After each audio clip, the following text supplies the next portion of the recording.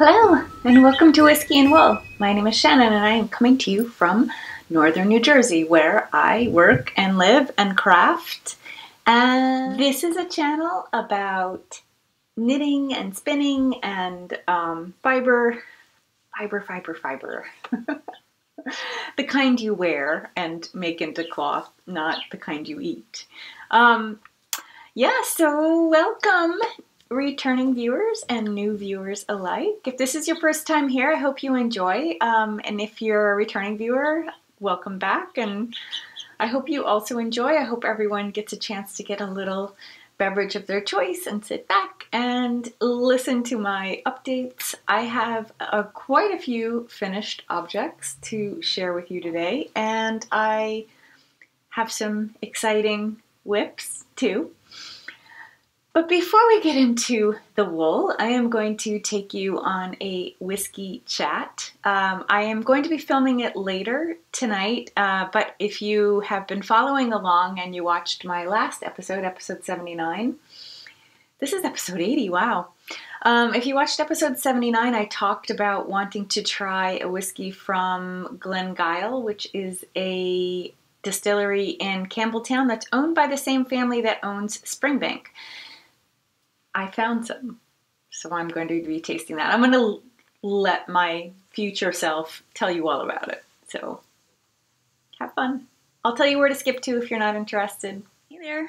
I'm here for your whiskey chat. Um, it is a little bit later in the day. It's actually just ahead of dinner. Um, so I'm going to have a little uh, pre dinner cocktail. I have my new summer.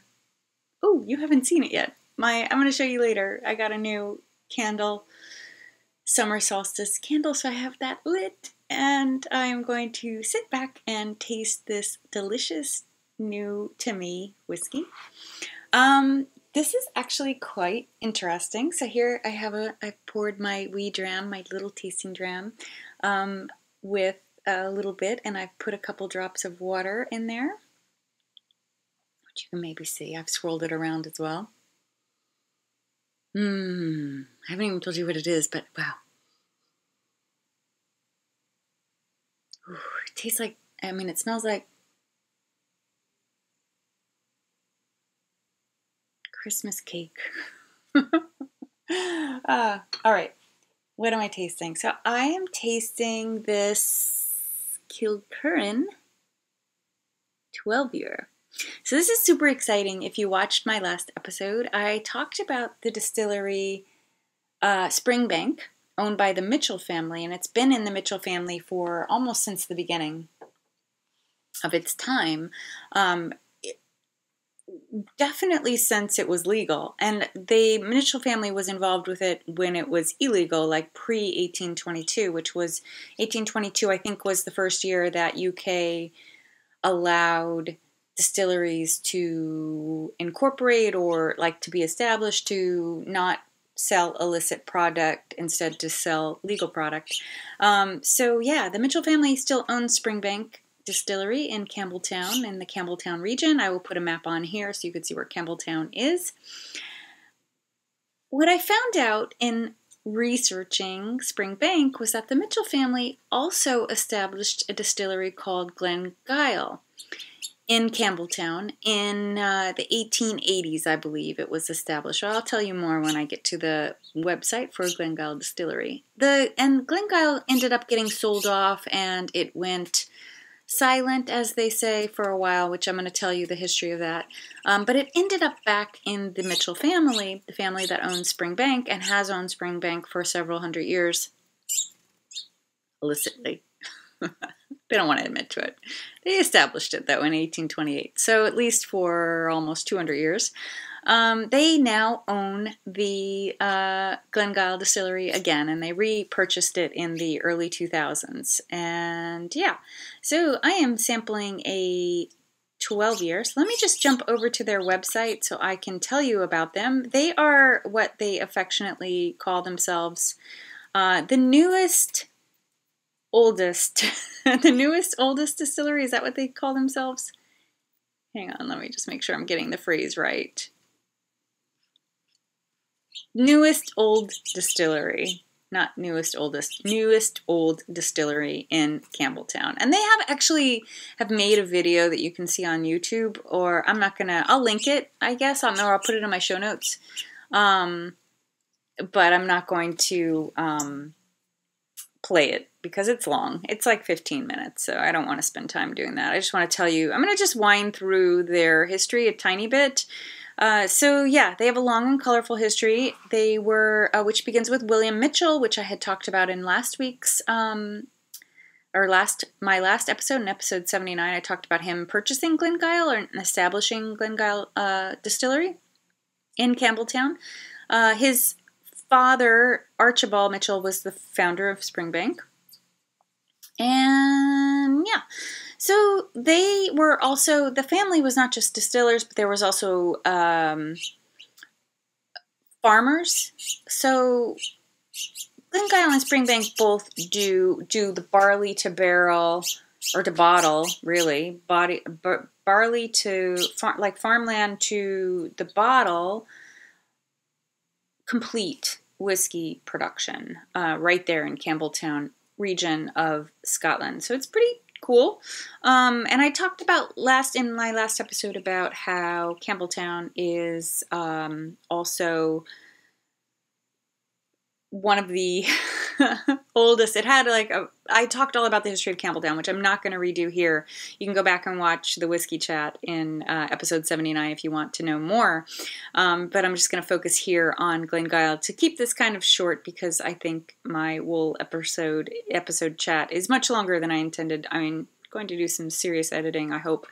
But it, this episode overall will be kind of long, so I don't want to um, expand here. So anyway, Glengyle was uh, founded in oh in 1872, and they called it Mitchell's Glengyle Distillery. And William Mitchell was the sole proprietor. Uh, and they suffered in the economic downturn at the beginning of the 20th century and eventually were bought out in 1919 so they didn't they weren't they you know went along for a good 50 years there and then got sold uh, to west highland malt distillery and then were sold again five years later in 1924 for 300 pounds. 300 pounds. Um, before they finally went silent in uh, 1925. Uh, the entire spirit stock. Oh, this answers one of my questions that I've had for quite a while about what happens when a distillery goes silent. What happens to the barrels? Because you know they weren't planning to go silent. The entire stock was auctioned off on April 8th in 1925. Um, so they didn't produce any more spirit, but the buildings remained in constant use right up until modern days. Uh, it was they were used for different things in the 20s, 1920s. They were rented out to a rifle club um, for a number of years, and then later were used for as a sales office for agricultural company, um, and actually because it had continued to be used for other purposes, repurposed, buildings had been repurposed, it became one of the best preserved former distilleries in Campbeltown. Um, there were several attempts to reopen the Glengyle distillery in the past. The first was about 16 years after it had been closed down. It had been bought by uh, this family called Bloch Brothers, B L O C H Brothers, uh, who were the owners of Glen Scotia Distillery, which um, that's some of my lost footage. I talked about Glen Scotia, I tasted Glen Scotia uh, and then lost the footage. Um, yeah, so I will re I'll taste Glen Scotia again in the future when I get another uh, opportunity to do that. But uh, so 16 years later, so that was around 1940, and the World War II then happened and uh, prevented them from really being successful. So again, it, then later in the 1950s, uh, Campbell Henderson applied to reopen it now investing 250,000 pounds, so a huge difference, to modernize Glengyle and reopen it, but then he ended up not being able to be successful. Um, but then third time was the charm in November of 2000, 75 years after Glengyle had last produced spirit. Um, the Mitchell family uh, went went ahead and bought the buildings and began to um, They renovated it. There's a whole story, uh, as I said on YouTube, about their renovation. So I have a picture here of what the buildings look like when they took ownership.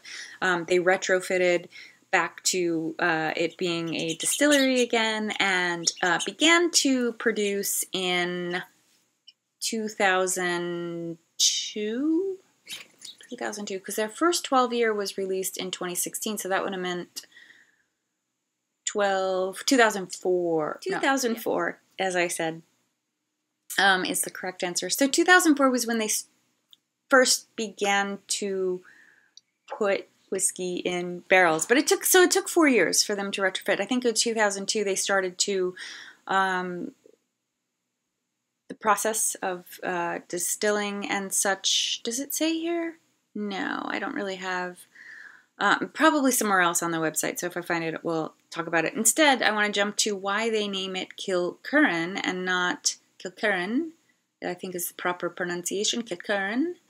Um, they chose Kilcurran because the Glengyle name had already been was being used by it for a blended Highland malt, and um, Mitchell, the Mitchell family was not able to purchase rights to that name, so and they wanted to avoid confusion between a blended and a single malt um, from the Campbeltown region, so they just went with Kilcurran, and it is derived from the Gaelic. Uh, oh my goodness, I'm not going to try to pronounce this. I'll put this on screen. Which was the name of the original settlement where Saint Curran had his religious cell and it is the area upon which Campbeltown now stands. And so it, was thought to be a suitable name for a Campbeltown malt. Um, yeah. All right. Uh, wait, I'm going to go to the making of. So they, so the first 12 year, which I'm drinking the 12 year, was they have a bunch of different whiskeys, and they're very, most of them are young because they're a young distillery. Um, I can tell you that though the distilling and um, to, through the point where the whiskey is put into barrels, that that is all done on site at Glengyle, but then the ma- maturation process, when the barrels are stacked on shelves and left for years to mature, that's all done at Springbank. So the maturing is done at Springbank. I don't think they do any. I don't think they have space to do maturing on on the Glen on the premises of Glengyle. Um, I actually don't even know if they have a tasting room. I assume they do because they do have tours, so they, there must be some sort of tasting room that goes with the tours. Um, but anyway, most of their whiskeys are young. They have an eight year. They have the 12 year. They have a heavily peated uh, that does not have a year. Now remember that Scotch, in order to be called considered Scotch, must be uh, held in barrels for three years on Scottish soil somewhere. Um, so yeah, and they have a seven-year sherry matured. They have a seven-year bourbon matured, a six-year sherry matured. Their bottles are the designs of the labels are beautiful. They're very colorful. They're right up my alley, like pink and greens and golds. They're very springy colors. Um, they have a bourbon matured six year in process and in process five year um, which is supposed to be chocolatey and orangey. That really sounds good. And a five year in process bourbon. Um, I wanted to see if there was, I thought I saw something about the, um, so there's not much, I don't know barrel, eh, other than those barrel specific, like sherry barrel, bourbon barrel specifics, I don't know what they do with the 12 year. They don't say uh, the process, they just say that it's generally a mixture of the sherry barrels and bourbon barrels that you see used in most other distillery and, and maturation processes. Um, oh my gosh, I can smell it. It's like there's I'm sitting by a window and I could oh smell it coming over. It smells so good.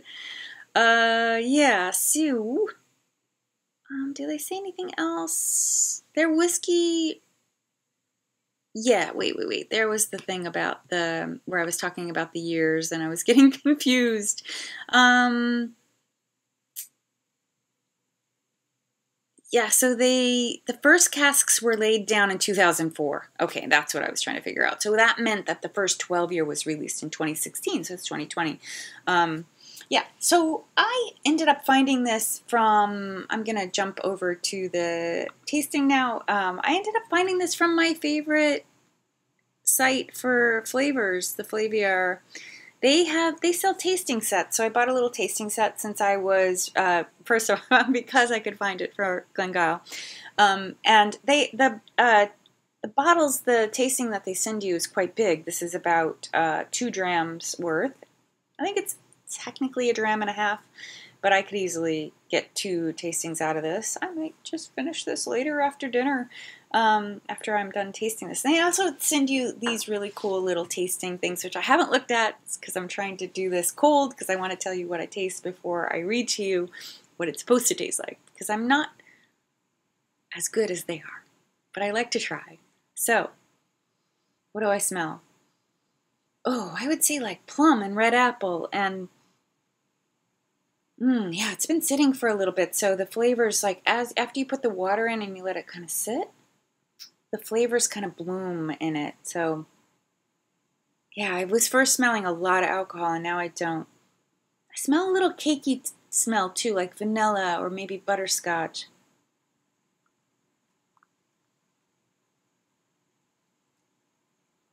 Ooh, wow. Wow, this has a punch. Oh, it's good. Oh, wow. In the back, at the end, you get this chocolatey cake, like chocolate cake taste. It's really good. Oh my gosh.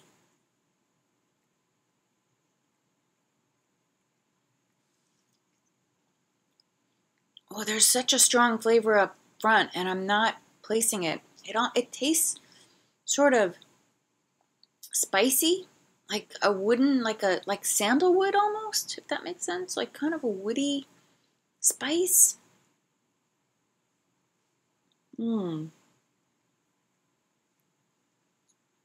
That finish though, wow, this is really delicious, and it's a a fairly soft golden color. I think maybe you can see it in them. It's not an old gold like what like the Springbank that I tried last week, the 10 year. It's a pretty soft, buttery color. Ooh. Yeah, wow. Okay. It's got kind of like, um, there's salt. Like I taste a salty, almost like ocean air at the end. Oh, I have to have one more taste.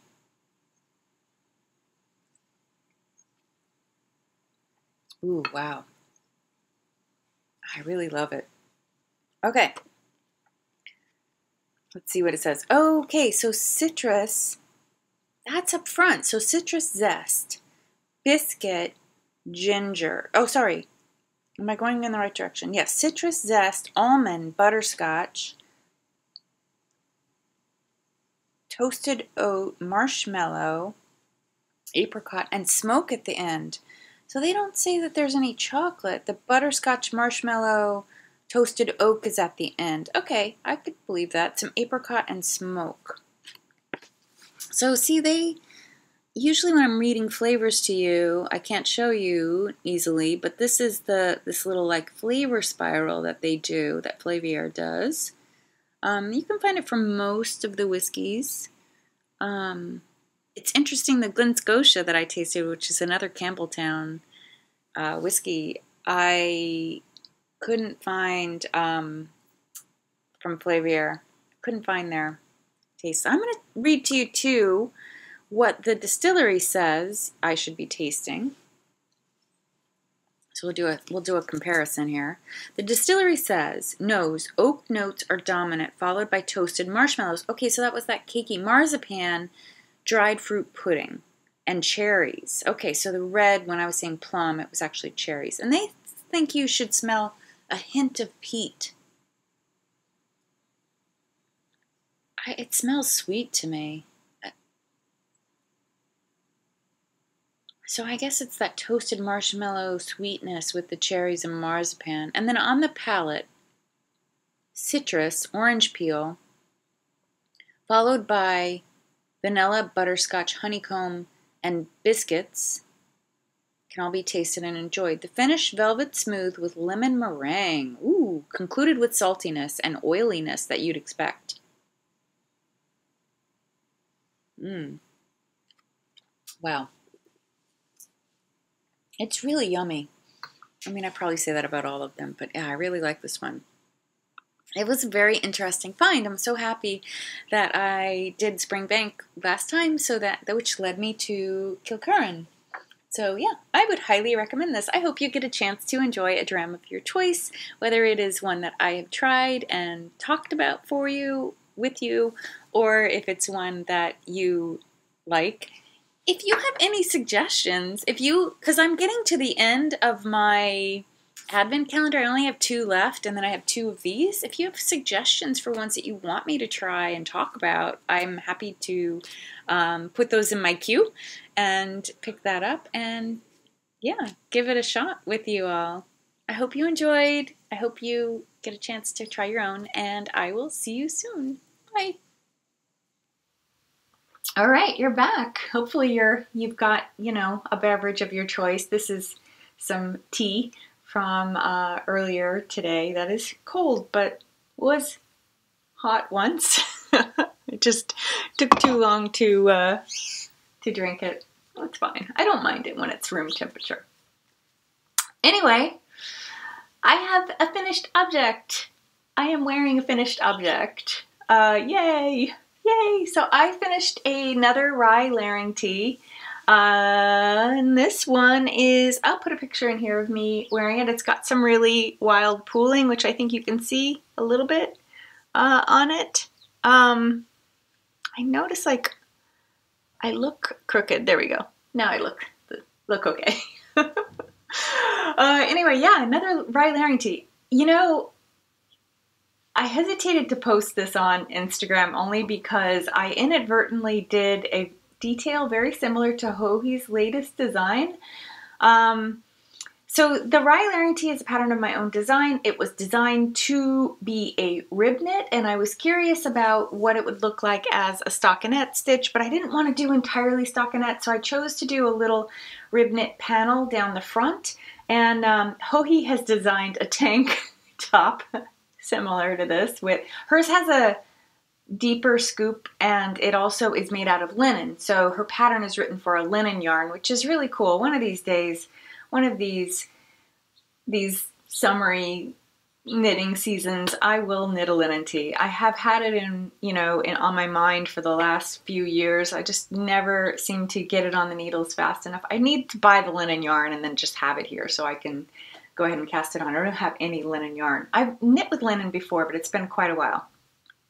Um, anyway, her tee has the exact same rib knit. Not mine's two by two. I think hers might be one by one, but a rib knit detail right down the front. So I was like, oh man, like I did not intend to copy her. It just is one of those things that organically happened. Like I went ahead and made this variation on my rye layering tee pattern. Um, but yeah, anyway, I like it. It, it did what I wanted. So the rib, I wanted the rib to just create a little shape because it does have, um, and this, this pattern was written for ribs. So in stockinette stitch, you do get a li little bit more bagginess um, in the silhouette, which is fine. Uh, works, it, you know, both work well, like the rib sort of hugging your curves or the stockinette just kind of hanging out and giving you this extra uh, ease and bagginess is all good.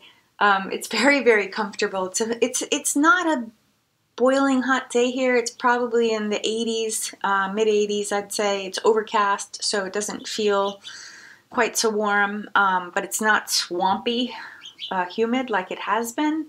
Uh, in this this summer, we've had a lot of swampy, swampy heat days. So yeah, I'm perfectly comfortable in it. It's it's perfect. This type of uh, neckline is really great for Zoom calls where people are just seeing you from here up.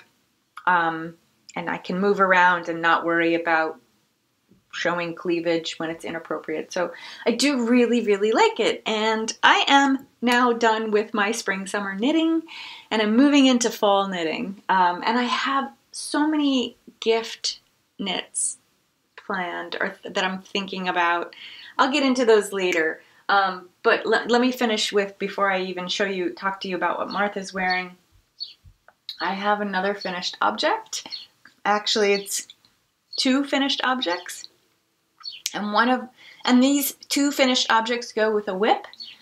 But uh, before I tell you, I need to tell my daughter in law, Priscilla, to not watch if she wants to be surprised with this gift. I'm planning on gifting it to her soon, like within a week. Um, but if she wants to be surprised, she should not watch. And I'm not going to talk too much about it. I'm going to instead put information on screen so that she can just put her phone down or her device down and walk away. And Priscilla, I'll tell you when to come back. so you've been warned. Anyway, I finished this adorable little knit for my granddaughter, my, who is coming in October. Um, I love it. I think it's gonna hopefully fit her pretty shortly after birth. Um, and I made this to go with it. I have no idea if this is going to be something that will fit her. We'll see. We'll see.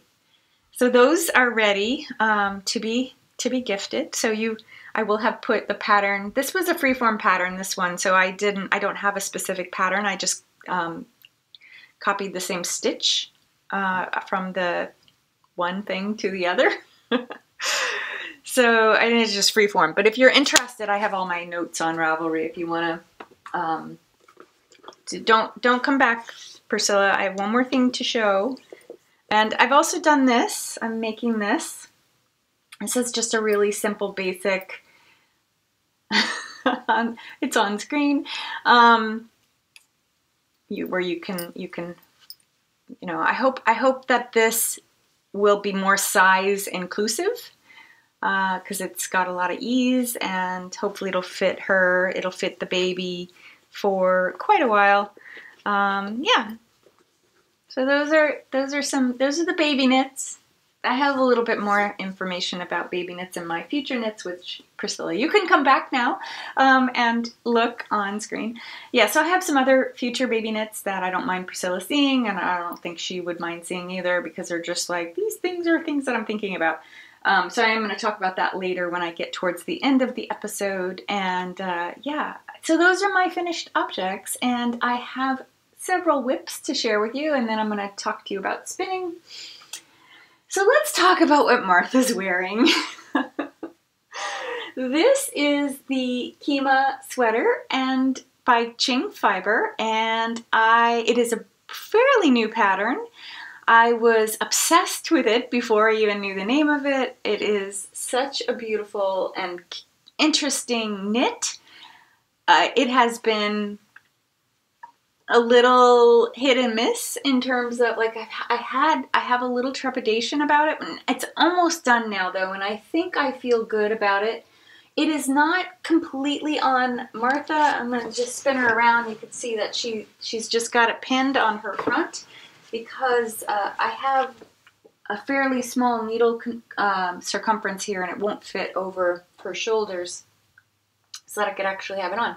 But I am three rows away from casting off this sweater and I really, really thought uh, I would have it done for today's episode. But, uh, well, so let me back up in case you're new here.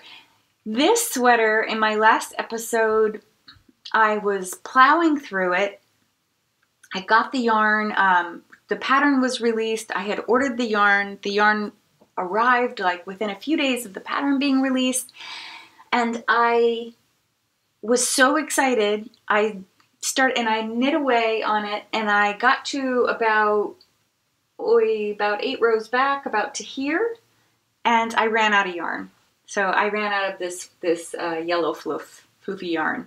So I had to panic order a third skein which I did. And it took a while to come because Qing is in UK, I'm here in uh, the US, and it probably took, it actually came faster because I think the la- my last episode, which was two weeks ago, I had ordered it maybe a day or two. So it came. It came within two weeks, which is awesome. Like that was, that's pretty speedy for UK to US. I thought it would be like four weeks. And so the anyway, the yarn, the third skein of the floof, which I'll tell you all about the yarn in a sec. My third skein of floof came on Thursday, and I thought, great! I only have like 10 rows to knit. I, sh I should have it done for my episode this weekend, but nope. it is, I've got about four, four rows done. I have three rows to go. I think I got about four rows done Thursday night and four rows done last night, Friday night. And that was as far as I got. I just knew like it was getting later and later last night, and I thought to myself, I'm gonna get to the bind off, and it is going to be gnarly because what you do for the bind off is you create, you um, you bend the yarn, you bend the hem up, so you take the last three rows, and those become like they bend inside, and you create like a casing, like like that of um, where you put a drawstring which is great, right? I have the drawstring made. You make the drawstring out of your main, out of your um, DK. So there's my drawstring. I followed her directions and made that.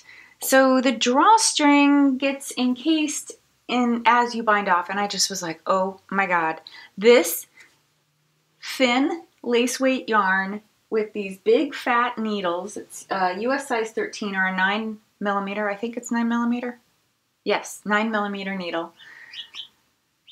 Really slow knitting. It's slow knitting. Like you, when you knit a row, you're knitting about a half inch because the stitch, you can see that the stitches are quite big. But it just takes a long time to make it all the way around because it's a lot of stitches. I'm not sure what the stitch count is exactly, but I want to say it's pretty close to three, maybe even three and change, 300 and change. Um, so it's a lot of stitches to get around which is why it took me so long. It took me like, I was basically getting a row done every half hour or so, or maybe every 20 minutes at the fastest, which that's slow. so, what is the yarn? Um, the yellow floof is uh, by Qing Fibre, and it is her Veranita base in the colorway Butterscotch. It is a 79% cashmere, 21% silk, so it is a cashmere lace yarn. Um, each skein is 25 grams and 300 meters, and uh, yeah, lace weight. Recommended on a, for a 4 millimeter needle, which would still be a pretty large needle for a lace weight. Well, it says 2.5 to 4 millimeter, so 2.5 would give you a pretty tight um, knit. The main color, which is this one right here, is some of my own hand spun yarn. This is a four ply, which I talked all about in the process of making it a few episodes back. Um, if I can remember, I'll put on screen which episode I really talked about it. I, I it, this this went on. This was a project that probably overlapped a couple episodes. Um, yeah, I was bummed I ran out of yarn. So the trials and tribulations of this sweater. I was taken aback when I got, you know, probably to about here on the sweater, and I realized that, well, so I've knitted, I said uh, eight, I've knit eight rows, about eight rows. When I ran out of yarn, I still had four more rows to go by the pattern. And it was going to be right around my waist. So yeah, the waist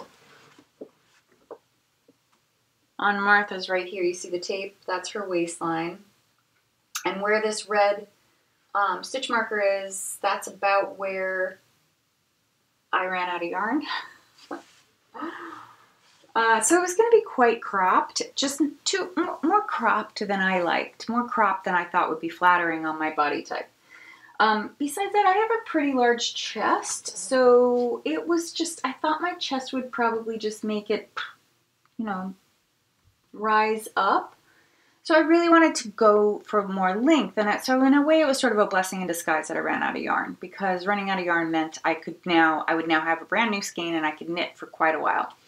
Um, I think it's good now. Like I was seeing how it was last night. So now it's going to hit my, about my high hip in the front. So you can see that the back is lower. And I think you can see through the yellow. There's a little, see that pink shadow? That is the back. So the back has a dip in the, it like a, it creates a shirt tail hem style, which I think is going to look so good. I'm really excited about this. I hope I like it. I've just been so obsessed about this pattern for such a long time. Um, that I really, really, really hope I love it. I hope I love it. Um, I have ordered yarn, more yarn. I ordered a kit from Qing Fibre when she released her Kýma sweater kits, which was about a month ago. Um, and it's black. I'm so excited about it. Um, so I hope I like it enough. If I don't like this style enough, I think I can do some mods. Like I was figuring out that it may be more flattering on me if this if this solid part comes down lower.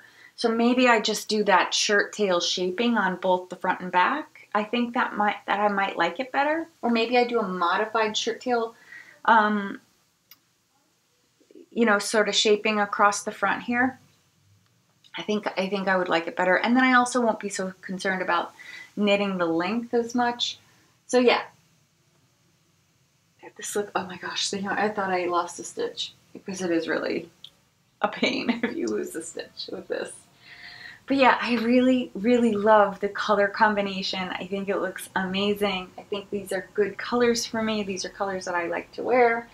Um, and, uh, oh, after I'm done with, I mean, these sleeves, look at these sleeves. They're so fancy and beautiful with these gathers and this beautiful drape.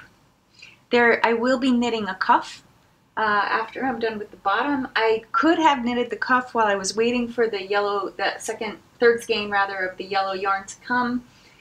But I worried that if I didn't like the way this section right here looked on my body that I would want to rip it back. But I think I'm actually going to be okay with it. Like now that I've knit more and I've been looking at it for a while and I and I sort of like spread out because it's you know it's bound up on this needle on this cord, the short cord. Um, I think you know spread out and on the body it's this is going to look fine. It's not going to look too poofy gathered.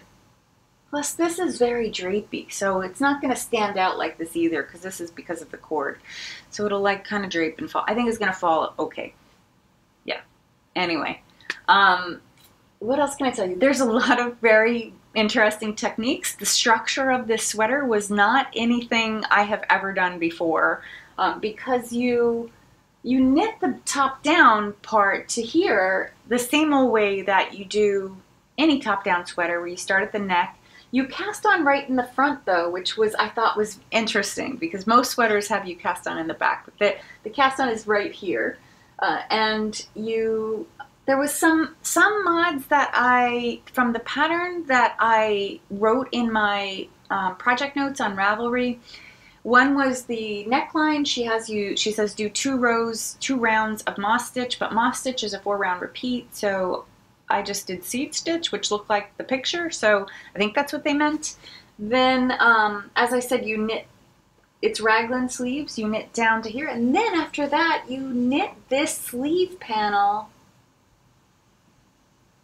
alone. So you, you go from here, you put all the stitches on hold, and then you just go down, and then you do the other side, and then you do the back, you, you do that shirt tail hem back, and then you you stitch the body across uh, wrist to wrist for a while. And like you create this sort of dolman shaping.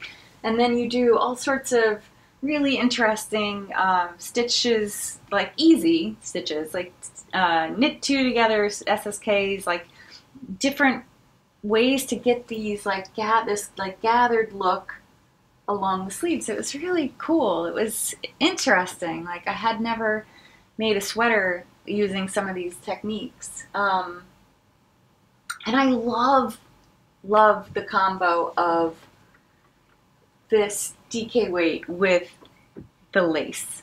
I just love it. I think it looks so terrific. And I also, the um, DK weight, you knit it in a much smaller needle. So I think I used, oh right, it's that weird, it's a seven millimeter. It's a weird, size, yeah, seven millimeter, which in US there isn't really a US size 10 and 3 quarters, but that's what it would end up being because seven millimeters right between a 10 and a half and 11. So um, yeah, so I had to buy a seven millimeter needle because I didn't have one, which is massive for a DK weight, but the fabric looks amazing. Like it looks really good. Like a DK weight, normally you'd knit on maybe a four millimeter or even a 3.75 um, to get a nice weave. But I really love the way the fabric looks in um, seven millimeters. So yeah, I like it. It's a, uh, it's a good, it's a good combo. Yeah. So. All right. On to other WIPs. Um, this thing, I'm ready. I am ready to put this to bed. I'm going to just talk about this briefly, but I'm hoping that by the next time I see you, this will be done. This is my pink velvet uh, sweater. It is a uh, pattern by Andrea Mowry, and uh, yeah, I, I've knit quite a lot on it. I don't know if you can really even tell because once I finish the yoke, um, it's just been, you know, plain knitting. Um, and I think I've knit like poof, about three inches on it. I have about six inches or so to go on the body. And yeah, I'm ready for this to be off the needles. I, I had started this ahead of summer, and then what I did was I sort of, because I was just curious to see how the pattern would knit, um, the pattern is designed actually out of Qing Fibre also. The pattern is designed for Qing Fibre melted baby suri yarn, which you can see here. It's got a high fuzz. It's alpaca, silk, and merino. And it's also a DK weight. It knits like a DK weight. It's probably officially like a sport weight, but it knits like a DK weight. Um, so I was curious to see how it would knit, so I kind of you know, did the whole yoke and then put it aside for a while and then just kind of knit on it here and there um, while I did this tank top and another tank top just because I wanted to get the tank tops done so I could wear them this year. Whereas this is really not something I'm going to put on until October or November. So I thought, mm, I can put that aside and just sort of, you know, you know, take a laid back approach to finishing it. But you know what? I'm done. I'm done. I'm ready for this to be gone. I want this done and off the needle. So I know once I get to the bottom and I get onto the sleeves, the sleeves are I can do in a few days, um, just a couple evenings watching shows. I can get like almost one done in one night and I can finish the other one like in about three nights of sitting and knitting. Uh, I should be able to get them done. So yeah, I'm ready for this to be done. So I hope this is done. This is going to the front of the queue for the next few weeks until until it's done. It will be at the front of the queue. Oh, I didn't finish telling you about the other yarn, the green, the beautiful green, which is really doing some weird, crazy striping. Um, I didn't realize, I mean, when you look at it on the skein, which I'll show you in a sec, it does not look like this, but yeah, I got some weird, some weird, it actually looks more pronounced on screen than it does on in person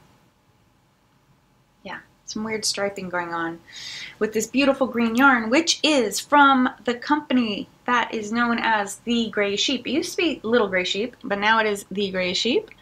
And this is Steinwool Fine Wool, Stein Fine Wool. I always want to say Steinwool Fine Wool, but it's Stein Fine Wool 4-ply, which is also classified as a sport weight. This is the colorway Squid Ink Pasta. I don't think she does repeats of her colors very often. I think she comes up with different color names all the time. But this is like a very beautiful, dark, almost black hunter green. It's like very, very deep green. It's beautiful. Yeah, so Pink Velvet by Andrea Mowry. Gonna get done. It is going to be done in the next couple weeks, I think. Yeah. Um, yeah, I it's it's wonderful because I'm in this stockinette, mindless, easy to knit phase of it. I've got to get it finished because I have Rhinebeck knitting to do, um, which I'm going to show you next. I'm working on my Rhinebeck sweater. And I have gift knitting coming up, so I've got a few gifts that I want to get done. I want to get knitted and done uh, for Christmas. I'd like to get them all done before Thanksgiving, which I think I will be able to. I think I should make it. Um, if I don't get distracted. And, you know, we get distracted. So let me tell you about my Rhinebeck sweater, which is my other, oh my God, I have made so much progress on this. So I, you know, Andrea Mowry came out with her new Spark and Spice cardigan, cardigans. They're beautiful. They're worsted though. And uh, funny enough, like when those, when that pattern was released, there was a lot of grousing on Instagram, at least on social media, about pricing and about because the pattern, if you knit with the yarns, I think it would cost you somewhere around $400 for the yarn depending on your size. Like you, I guess if you're a smaller size, it wouldn't cost that much. But maybe for me, it would be about 400, maybe a little less, 380, something like that. If you bought the yarn that she recommended. And I was looking at it and I was thinking to myself, I don't really wear worsted weight sweaters. Like they're just too heavy. Like once in a while, if I know I'm going to be outside for a, an extended period of time in the winter, and I want to layer up, I'll put on a, west, a worsted waist sweater. But most of the time, like I'm inside and I'm going outside for brief periods of time. And, you know, in, when we're inside in fall and winter, we keep the heat down, like in the mid 60s. So it's chilly enough to like have a sweater on. But the sweaters that I reach for are fine gauge sweaters. They're fingering weight, uh, maybe a DK weight, but something heavier than that is too heavy for me. And so people were writing, well, pricing thing aside, people were writing um, things like this is the worsted weight sweater you never you never knew you needed. And i'm just like i don't need any worsted weight sweaters. Nothing against the pattern. Pattern's beautiful.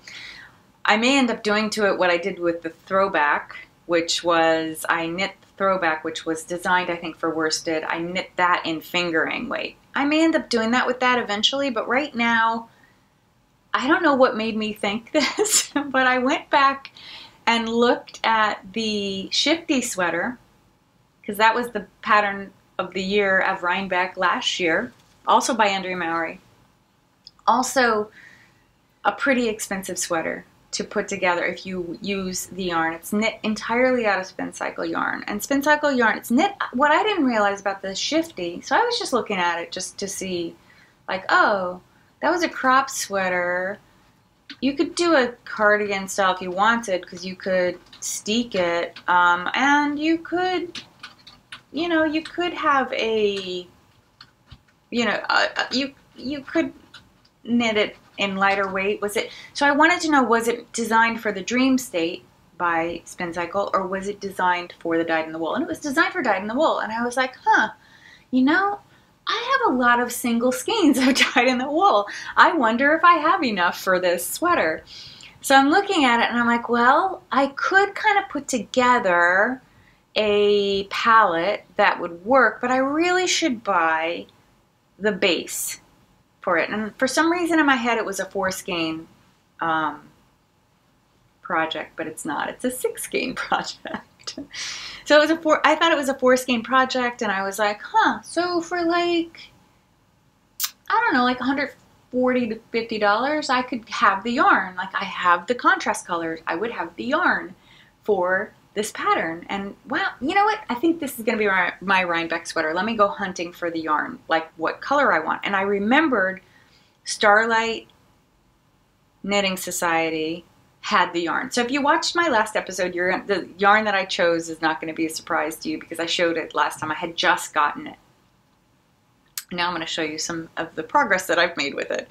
Um, so I decided to do the shifty. I decided to uh, use um, Cassiopeia. There it is, caked.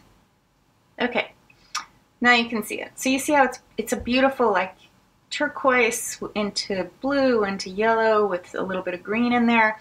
The skeins caked up a little different, each one. So these are all the same color. This is the colorway Cassiopeia, or Cassiopeia from Spin Cycle, but exclusive colorway to Starlight Knitting Society, which is in Portland, Oregon. Um, yeah, so I loved, I remembered it, and I was like, I really, really want it. So I went and put four skeins in my cart, and then I went back to check the pattern just to make sure that was the right amount that I needed because I also knew I wanted to make it longer because I, again, crop style, uh, not really flattering, like something that's going to end the waist, not really flattering, I think, for my body type. I really needed, I think, I'm more comfortable wearing a sweater that's slightly longer than that, like kind of around 24. I can do 23, I think, even maybe 22 and a half, but I really need it to be, you know, from shoulder, the inches that I'm talking about are from shoulder down to the bottom. Somewhere in that 24 to 26 range is where I like to aim for with all my sweaters. Anyway, so I was like, okay, I might need another skein. Let me just go check the pattern real fast. So I go look at the pattern and I'm like, oh, for my size, I need six skeins. That's what she's saying. But actually, I think I am going to be, because I knit loose, I think I'm probably going to be knitting the smaller size. How many skeins is that? Oh, that's also six, but just six and a little bit. So, or rather five and a tiny bit. So I think with six, I'm more, I have more than enough to do the length that I need. Fine, put them all in my cart. $192 because they're $32 each. it's just like, okay, I really want to do this. So I went ahead and bought those. Um, I did have contrast colors here already that I had already purchased. I had, uh, so the yarn arrived and I um, put together these two colors, which I've had in my stash for about two years. This is uh, Cataclysm and this is Ruination. Ruination I actually used a touch of it. I used about eight grams of it for the throwback that I did. Yes, throwback. I'm just making sure I'm getting her names right. The cardigan, yeah. So I had made that for my Rhinebeck sweater last year, for one of, one of a few Rhinebeck sweaters, because I made three Rhinebeck sweaters last year.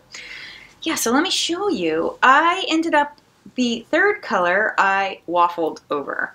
I had some um, of this orange, which is Stay Out of the Forest in my stash, and I thought that might be a little bit harsh. So I waffled on it. I'm going to show you the sweater and then we'll talk about my waffle, my color waffling. So here is you know, the progress I have made on it so far. I have got uh, the color Cataclysm completely knit in. I am working on my second color. And I have separated for the sleeves and so far I love it. Let me see if I can show you this color, this so I ended up using the color, this orangey pink is Midsommar. It's a color that they, I think they just made it this, um, I think they just made it this summer. At least it's the first time I've noticed it. Maybe it's been around. Uh, so yeah, I ended up using that. I really, really love it. It's like kind of like a sunset in a way. But yeah, so then the idea is that I'll knit, uh, the next section will be using this pinky yellowy color and then I'll be using Ruination, this purpley color. I might need a fourth color. Um, I think I'm going to run out of yarn if I don't use a fourth color, the way that I'm reading the pattern. I mean, this, I ended up making the size 2, which I'm making a size 2 to get to a 40 inch. So she recommends 0 like negative two to positive two or negative one to positive one inch ease, but she really says you should hit your bust. So my bust measurement is like 39. Eh, so I went with 40 inch because I was like, I don't think I want it to fit my bust exactly.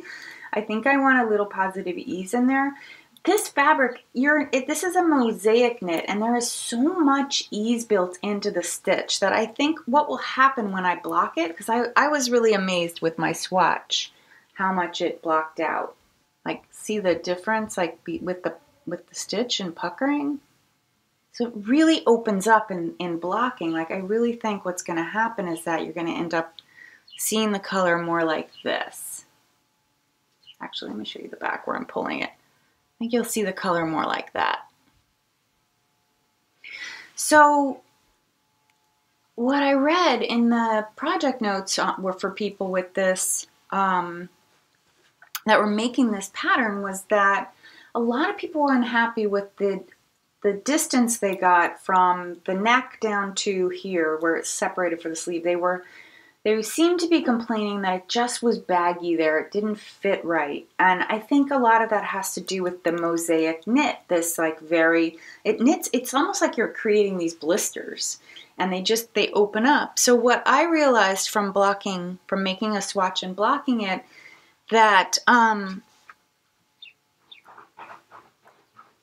that if I, because I, my instinct always when I end up knit, so my row count hit hers, it matched her pattern, but my stitch count was too big. So I reduced the stitch count down. I talk all about this in another video, how to do this. So you don't have to follow along. I'll put on screen, I'll, I'll even put a link in if I remember here to, so you can see how to do this yourself. So I took my stitch count, I reworked my stitch count, stitch per inch, to figure out which pattern size I should make. So I figured for my looking for the size that I wanted, I should have made like a three to four, probably a three if I followed her advice on the negative to positive ease measurement. Um, so I ended up making a two, and then normally I would make the, I would go down, if my row count was the same, I would make sure that I did the right number of repeats or rows to match the size that I should have made. So I in my mind, I was knitting using the size, making the size 2 stitch count wise, but I was going to do the row count of size 3. But in knitting this and, and seeing how scrunched up it was, I was like, well, my row count is the same. Let me just count how many inches, like how if you, you know, if once this is blocked, how big will size 2 be? And it turns out it's 9 inches from shoulder to um, the sleeve split. And that's perfect for me. Like, I know I need 8 minimum. 9 gives me ease in that area. So 7.5 is probably my actual measurement. So an 8 gives me, you know, a, a snug fitting armhole Nine gives me is a generous armhole. Ten is like if I want a baggy um, look, I would do 10 inches. So if I had knit the three row count wise, I would have ended up with 10 inches uh, for the drop, which I was like, it, for a sweater that's going to fit my bust measurement, I don't really think I want a baggy armhole. So I went ahead and just knit the two. Um, yeah, the only other mod I did besides like modifying for my own stitch count was, uh, and the length, the only other mod I did was I did not do the tubular cast on because longtime viewers will know I'm not a fan. I mean, tubular cast on is not so bad, but uh, tubular bind off is whew, gnarly not my thing. I just decided I wasn't going to do either. It's I don't and I don't I don't miss it. I mean, the spin cycle yarn has so much going on in it. I don't think it's needed. Yeah, so this was an investment of money and um but I have no regrets. It's so beautiful. This is what's left of Midsommar, so you can kind of get a gander at what the colors are doing. So it had this like very intense sort of um, soft blue in there, and there's a little bit more coming through here. It's much softer here than it was uh, in the skein. Um, so yeah, I really waffled on this color. So initially, when I got the uh, the Cassiopeia, I didn't want to use Stay Out of the Forest because it was too bright. So I went I went and ordered um, from Brooklyn General Store. I ordered uh, this color, which is Rusted Rainbow. And I mean, it weighs in nice with these, but I was worried that it was going to be a little too jarring. I wanted that to kind of go together, but I don't know. I just, I, I really waffled. I still don't know how this would look together because I haven't knit one stitch. Um, so when this came, I was like, wow, it's still a little dark. I'm not sure I want to go with that. I think I want something lighter and more more bright. So I, I ordered this from Spin Cycle. Um, and, you know, meantime, I was knitting away on the, uh, uh, using the green, this color, Cataclysm. Um, yeah, so this came and I went ahead and knit with it and I still wasn't sure, but now I'm sure. I like it. I think it's going to be fine. Like I I think what I was thinking when I was looking at other people's patterns, it looked like they had a more smooth transition, though Andrea's sweater I have actually seen it in the flesh. I ended up standing in, in on the on an escalator behind her at Vogue, and she was wearing hers. Really pretty. If it wasn't Vogue 20, it was Vogue 19. I ended up on the escalator. I didn't know it was her, and it was funny. Someone was coming up the escalator in the other direction, and they saw they were about to compliment her on her shifty sweater, and then saw that it was her. But her anyway, her sweater does have kind of a break in the color. Like her, the color that she used on top was uh, a pretty bright green and then it went into these more autumnal colors and then the green comes back again in the sleeve because she ends the sweater after the three color repeats and then the sleeve is longer though than because it's cropped so the sleeve ends up being longer and she ends up re-knitting like knitting the, the green section again so i was like you know i'm okay with it i think this is the idea of it right i'm sorry if i'm like kind of going on and on about this um, you're probably like gosh can you just move on um, um, but yeah, so I, yeah, I think this is the idea of it. I mean, Spin Cycle is supposed to, like, this color change between them, the shades, the shading of the same exact color, skein to skein, is supposed to happen. And the, you know, change between from one color to the next is supposed to happen. And you don't need to have a gradient necessarily which i was thinking i'm like do i need a gradient should i be using a blue like should i be taking colors out of the out of this color palette or do i contrast like i really don't know but i know i always like contrast better so i think i'm just to do contrast so that's what i did and i do think this purple blue color, Ruination, is going to give me some pop, but I also think it's going to have some low contrast moments where this sort of, um, this green here isn't that far off some of the colors that are in the, um, you know, the yarn itself. So, the base yarn. So anyway, that is my Rhinebeck sweater. Even though there's no Rhinebeck, it'll all be virtual.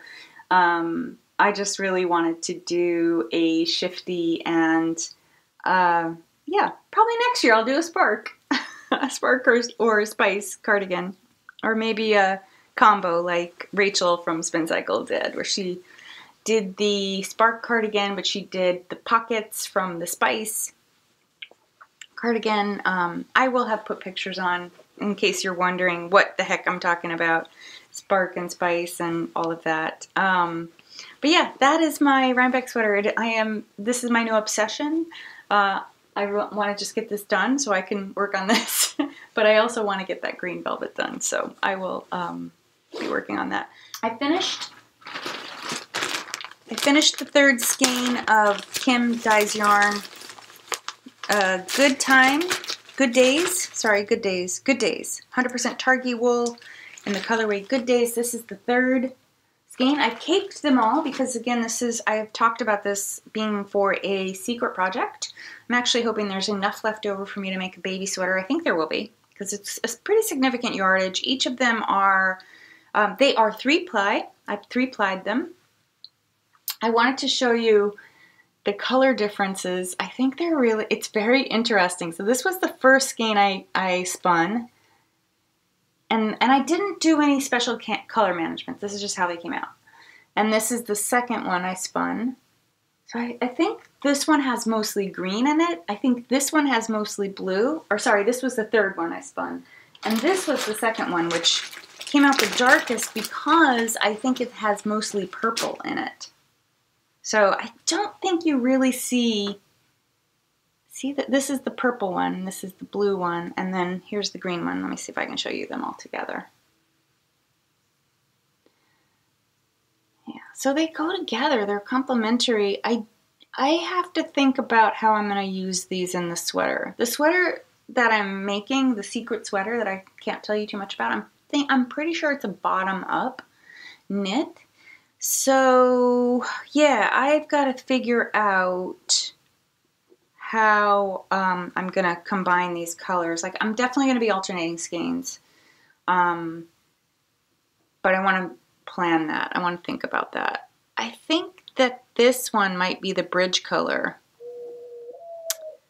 Yeah, so this might be the color, the anchor color that kind of goes, helps me blend the uh, two skeins together. I may start with the purple if it's bottom up and then start alternating with this after the rib and then um, bring the lighter one in. I think that'll be nicer, especially if it's bottom up, so that it's lighter on top um, and darker on the bottom. So yeah, that's one thing I got spun. I really didn't think I was going to have any other spinning to show you um, because I kind of took a break from spinning. I put my spinning wheel, uh, I didn't put it away, but I left it out, though I didn't really have anything planned to knit um, with it, or to, sorry, to spin. I didn't really have anything that I really wanted to spin necessarily. Really wanted to just get this one done, and this one I kind of, you know, lollygagged on. But uh, one day last week, I was inspired to uh, start working on a, a, bat. Like I started to think about the uh, three ply spin that I had done that I showed in my last episode that ended up that was inspired from the spin cycle dream state where you end up with a gradient in the in the skein. So I wanted to deliberately try to make a gradient in the skein using these bats that had high contrast colors. So it was a it was a um, orange, pink, and green color I, I don't love the color combo, and I talked all about that last time, but I was really happy with the results, with the way of lining the colors up. I figured out that I needed to line the colors up, like each bobbin had to be lined up vertically. So I decided to try one, another um, version of that. So this is what I got. This is a bat by Nicole Frost of Frost. I think her company name is Frost Yarn. Oh, I had the um, card. Why? I'll show you the card in a minute.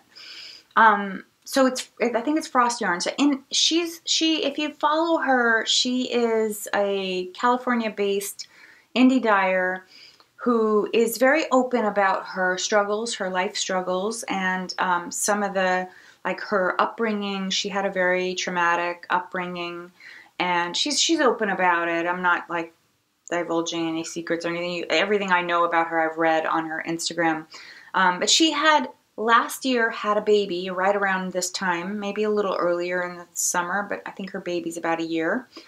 Um, and she, right after the birth, like the baby was under a month, she launched a fiber club and it was I've seen I had watched her watched her Instagram and seen her work and was intrigued enough to join the Fiber Club. And the way that she was running the club was she was um, offering up three months of a fiber club where you get a bat each month, but she was going to ship them all at once at the end of November. So I signed up, and so I guess I got uh, August oh sorry september october and november's clubs all at once and but i bought it right around this time of year. So this was one of the club colors. This was a colorway called malibu palm. And i think when i got these bats last december i opened them and showed i was showing how beautiful they were i was gushing about them like she really went all out with the colors they're just really really gorgeous bats to look at I have one here because it, I'm going to be, um, oh here, I have her card. I can show you. Yeah, it's Frost Yarn. There you go. Frost Yarn. She makes yarn too, of course, um, but she does fiber. She has a big drum carder, so she does these big bats. But this is um, one of the bats. So you can see that there's like this purple, my, my uh, camera changed color. This is accurate color-wise. So there's like this rust high contrast rust with this um, teal blue, and I think she called this color something teal and something teal and terracotta cliffs.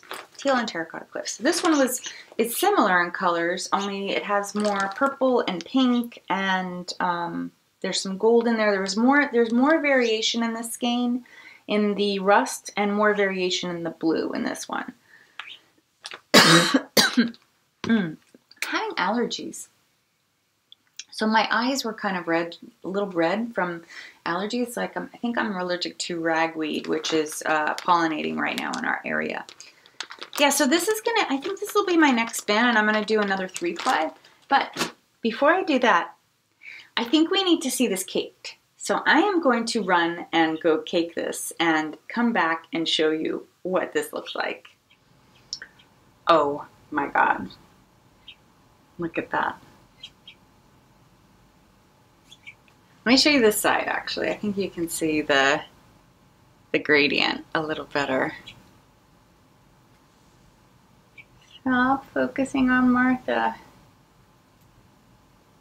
Isn't it so pretty though? So this, so what I did with this, I had the three rows of fiber. I'll put a picture in here.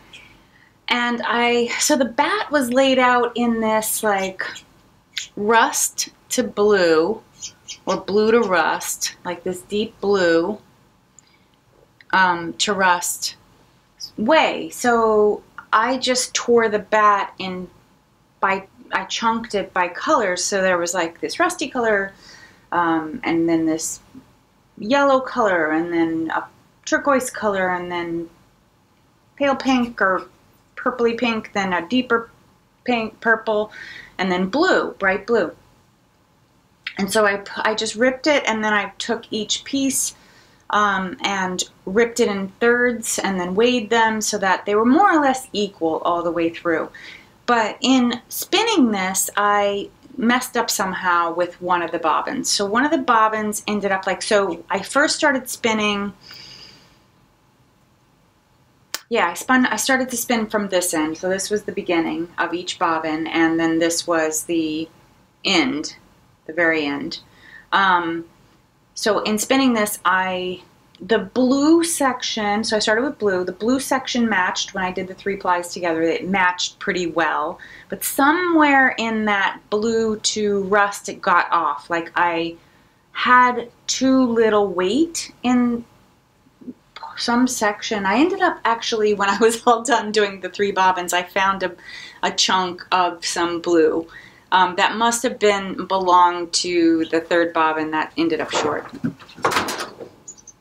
sorry, some drama over by the bird and cat. some bird cat drama happening over there. Um, the uh, so anyway, it ended up off a little bit, which I actually think worked to my advantage. Be, until I got to the very end, and uh, I ended up running out on the third bobbin. Um, way before I, I ran out on the other three. But I kind of like the way I think it is part of the success of the gradient feel to these colors because one bobbin was slightly off. So I didn't have a perfect match all the way through. And I, I really, really liked that, that sort of blending. So there's a, there's a pretty significant section where there's like blue blending in with the two shades of rust. And it just ended up making like, um, just reminded me of this like, like looking for treasure. Like you find like, especially you could see it right in there. I think you can see like the rust with bits of yellow and and turquoise blue and purple just like popping through. I think it's going to be so pretty. You can see it there too, right there. I think it's just going to be amazing. I did end up, like when I got down to the bottom, I had a little bit of white on a bobbin left over from the last time I tried this experiment of doing a gradient, um, you know, color range. So I had a little bit of white left on one bobbin, so I pulled that bobbin out and used that as the third um, bobbin for to finish off the other two colors and that's what you're that's why you're seeing a much lighter rust on the outside on the outer um, you know probably like six or eight yards here.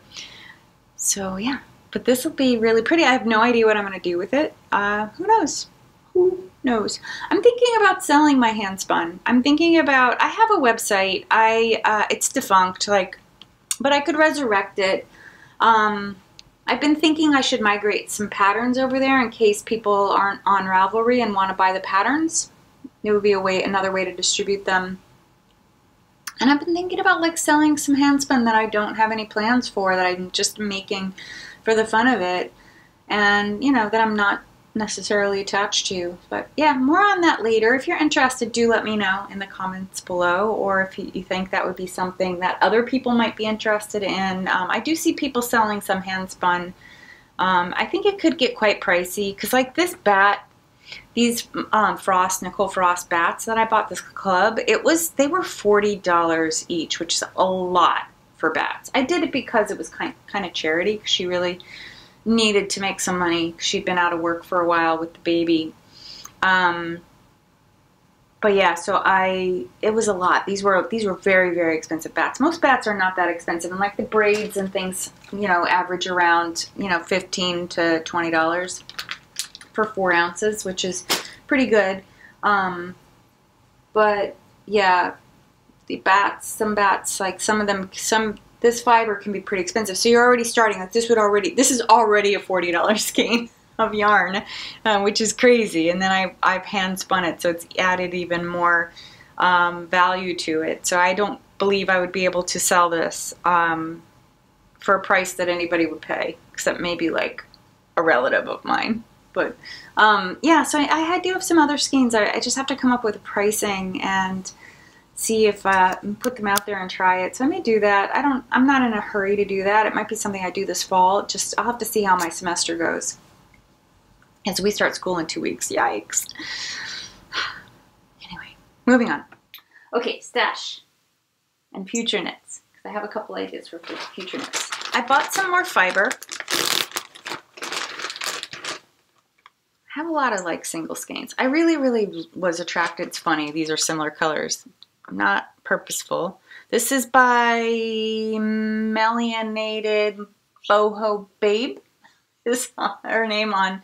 It's Amanda Solomon. Her name is her Instagram handle, and her store handle is. I'm pretty sure it's Melanated. I'll have put it all on screen. Boho Babe. Um, yeah, 100% superwash merino in a one-of-a-kind colorway. I just was really loving the color combo of this lime green and purple and rust. Um, I guess I'm on a rust kick.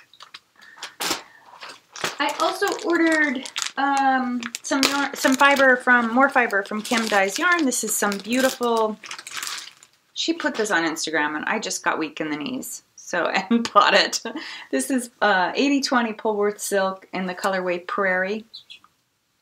I really love it. I don't know why she called it Prairie. It reminds me of the of a show that had a character named Prairie. But this is so pretty and I like that these cashmere lace weights that I got from Italy, my trip from Italy last year, match it they're going to somehow go together. I'm not sure what. That um, lace weight actually is the same content as this. So, and it's also uh, this, it's the exact same yarn practically. It's like slightly different. Like I think it might be slightly more cashmere, maybe like 80% instead of 79. I don't know, something like that. But it's basically the same yarn. So yeah, so I thought I, I just loved these colors and I also realized that it would match that Dusty Rose um, lace weight yarn that I can maybe, I don't know, somehow put together. So that's something that I'm just going to let cook for a while. I also got a fiber box, my fourth fiber box from Stitch Together Studio. I bought a subscription of eight boxes for the year from Stitch Together Studio fiber boxes. Um, that was how I got the orange, green, pink bat that I had made to last episode uh, into the Dream State Experiment yarn. Um, but this is the one, so the summer solstice one. It's beautiful, uh, sparkly pink and yellow um, bat, three ounce bat. Came with that. Uh, so this box also came with this beautiful wool soap. In the scent called Thumbprint, Summer Solstice scent actually. Is the company Thumbprint? Yeah, the company is Thumbprint. So that came in the kit. Uh, a little tiny skein came, like a mini skein came with that, which I have already caked because I have it planned for another project, uh, which I'll show you next. And I got this candle called Sprung. It smells really good. It smells like summer. And I got a bunch of stitch markers and the mini skein and these beautiful uh, quartz pieces. Um, I ended up, this, this box was so late. Like I, I think she shipped one to me and I never got it. Um, that was like in June because she, she posted that her August, um, her August boxes were going out. And, and, so I emailed her and I said, you know, I never got the June box. And I forwarded her my original order. And she she emailed me back and said, I'm sending you the June box now. Um, or the the Litha box now. And so the the other box should be here soon. Like it's an August box. So um yeah, I assume it'll be here. Who knows though? The post office is such a mess right now. I feel sorry for our postal service. Uh, I also shopped the Joji Seconds sale. So she had a warehouse seconds sale, meaning like her bags had some problem with them that she didn't think were good enough to sell um, at full price. So they were steeply discounted, I think up to 30% depending on the object. So this is her, the first bag I believe she made, or it has a lot of versatility. Um, I think it's normally like $80 and it was, I got it for 50 or 60, something like that. But it's the navy blue uh, suede. And at first, when she launched pre-pandemic, when she launched uh, the blue bags, they were only available at local yarn shops. And then she started to um, sell them herself, or maybe because it's a second. Um, this has an interesting, I have not used it at all yet but you're supposed to be able to reattach this there so that you have a handle, a handy handle, or you can just uh, carry it as a zipper pouch. Um, I think the flaw on this is that stripe right there. I assume that's the flaw. I don't mind it though. It's suede, it's leather, it's natural. Those are natural occurring. I'm not going to try to fix that. Okay, that's all I have aside from this last feature cast on, which I'm not in a hurry for this. so you may not see this again for a while. Um, I'm going to make a rainbow, a rainbow blanket out of minis and my rainbow, my Pride rainbow set that I got um, for my granddaughter. Um, it'll probably be something like I get, I'll give her around her birthday. This is the mini that I got with the summer solstice from Stitch Together. So I put that in to knit with the yellow. Give, give that yellow some some interest. So my plan is to knit um, in Roy G. Biv color scheme with two strands together, which is why there's so much. So a solid with a speckle. Um, so knit all the red, then knit the orange, then knit the yellow, the green, the blue, the purple, um, and you know, some color changes in there. I have some hot pink planned, and some most of this is either uh, minis that I had or just leftover yarns. Um, I've got some turquoise in there to do the blue-green transition. I think it's going to be really pretty. I'm so excited. It's a lot of yarn. All yarn I had on hand, though, so that's awesome yeah, and other than that, I have some other gift knits um, in mind. I have a friend who is a coworker who is uh, pregnant as well, and she's also having a girl, so I have another baby blanket in mind for her. Um, and I'm making some gifts for my family for Christmas that I want to get going on. So, yeah, so all of that in the works, and uh, yeah, we'll see what happens. I hope you enjoyed today. Thank you so much for spending time with me as always. I really appreciate it and I appreciate hearing from you. If you have comments that you'd like to, you know, talk to me about or if you have questions, please just go ahead and comment and I will comment back to you. And um, yeah, I look forward to reading all of that and I look forward to sharing more with you in a couple weeks. I hope you have a great, wonderful, safe, and healthy next couple weeks, and I will see you again soon. Bye!